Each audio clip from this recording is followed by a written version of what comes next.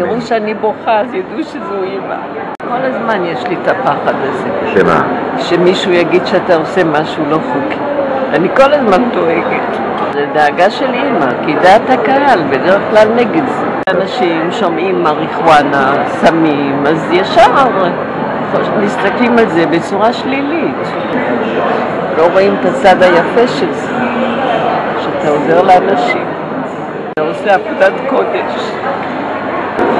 לא כל אחד מסוגל לעבודה כזאת. אני מקווה שיעריכו את מה שאתה עושה.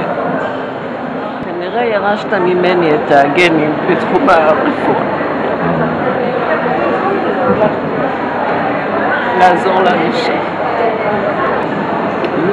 מה, זהו? יאללה, נזוז? כן.